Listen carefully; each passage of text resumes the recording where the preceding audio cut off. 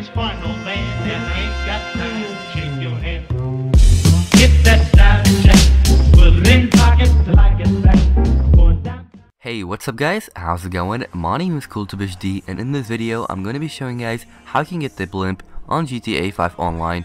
Now before we start this video, make sure you guys punch that like button and also subscribe and stay active for more GTA 5 content.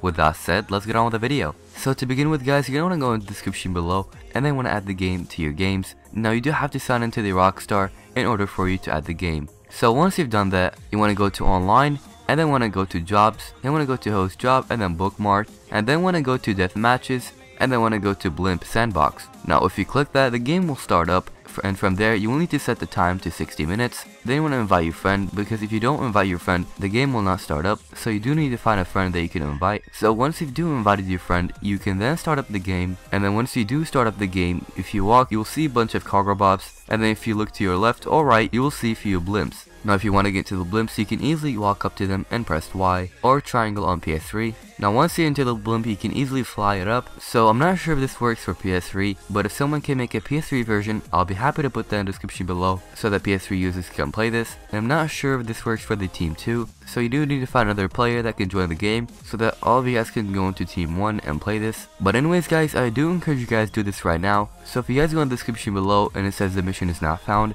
be patient because Rockstar keeps on taking down the game and then so what my friend does, he usually puts it back up in about an hour. So make sure you guys check back in about an hour if the mission is down. But overall, I think this game mode is very awesome because you can have 6 players with you in the game and you can all fly up the blimps. Not only you can do that, you can also drive the Cargobobs and fly around. But anyways guys, that's all about it for today's video. If you guys enjoyed, be sure to drop a like and if you're new to my channel, make sure you guys subscribe for the best COD and GTA 5 glitches. My name is KoolTubeHD guys, stay frosty, and I am out. Peace.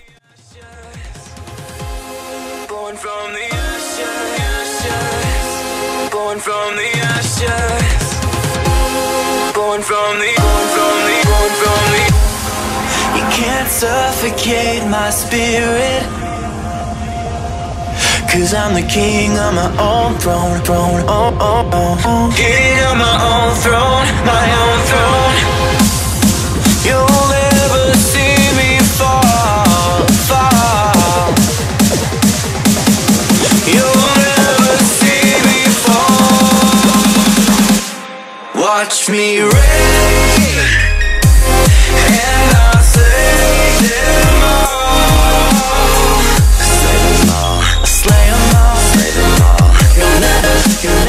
You know